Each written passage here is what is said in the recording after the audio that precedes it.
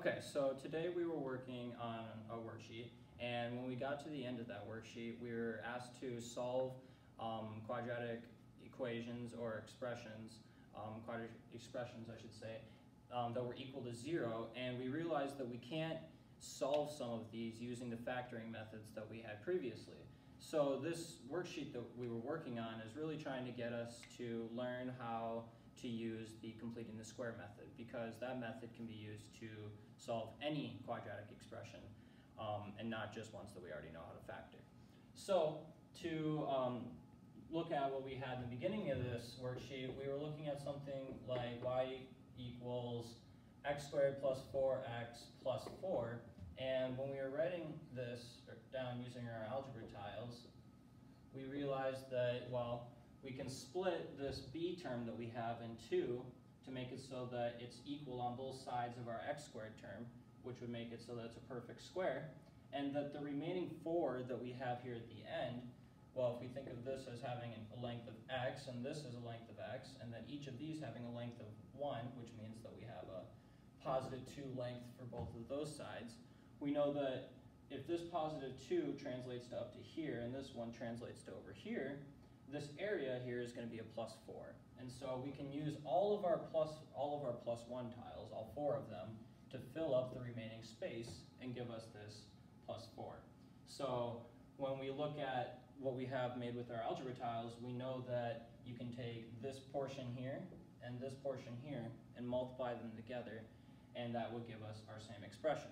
Or in other words, we could say that this is equal to x plus 2 times x plus 2, or x plus 2 squared, because we know when we add two terms together, it's the square of the term. So, um, looking now at a different example, we see we're given one that is not a complete square, and we have to learn how to, what to do with that. So, we can now look at something that's like x squared plus 4x plus 3. And now this one looks very similar to this one, so I'm just going to write it out right now with our algebra tiles. We again have the 2 on either side. We've split up our b term.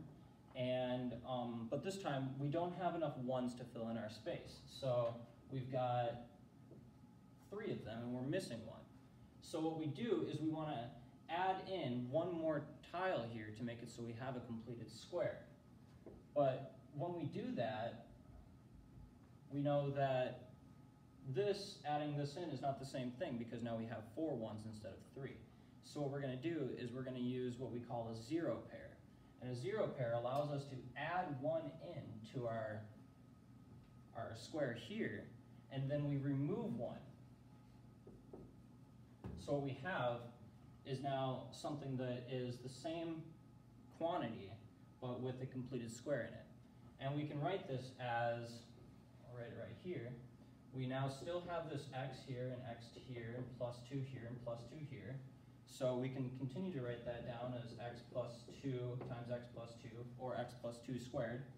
And then this final term here that we've tacked on um, because of our zero pair, we just add on to the end. So we would be adding this negative 1 in. And then if we were to square this all out, we would see that it's directly equivalent to this.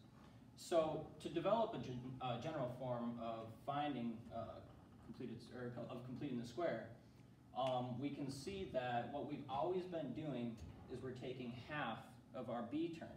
So we can say that this term right here and this term right here will always be b over 2, which means that this term right here is always going to be b over 2 when we look at the general form.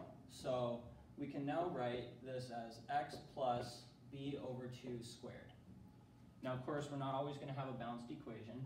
Our b over 2 squared, when we square this out, we really get x squared uh, plus bx plus b over 2 squared. And this b over 2 squared isn't always equal to our c. So what we can do is we can now think of this as we can subtract our b over 2 squared. This would be what our zero pair would be when we were looking over at our first expression. And um, then adding back in the c. So our final product for the general form of completing the square will be that it will look like y equals x plus b over 2 squared plus c minus b over 2 squared. So now we can apply this and look at uh, one of the problems, or a problem similar to the one that we had at the end of our worksheet. So I'm going to give the problem x squared, let's see, x squared plus 4x minus 1. And we want to know what values of x make it so that this is equal to 0. I'm going to box this off here. So, um, we could use our algebra tiles, but let's uh, apply this general form that we've done. So we can take this, um, this b term that we have, divide it in, uh, by 2, and plug it right into this. So we have now that x plus 2 squared. Now we need to look at our c term, and we see that our c term is a negative 1 here. So we put our negative 1 down. And now we look at this b over 2 and we square it. So b over 2 again is 2. And we square that term and we get 4. And we know that we need to subtract that. So minus 4. So our end product will be x plus 2 squared minus 5 is equal to um, 0. So to solve this, we all, all we have to do now is add our 5 over. So I'll go up here. x plus 2 squared equals 5. Take the square root of both sides. x plus 2 equals plus or minus the square root of 5. And then finally subtract the 2 over. So our x will be negative 2 plus or minus the square root of 5. And if you apply this to any of the problems that you have, it would work. But the special power of this is that it works even when we can't factor.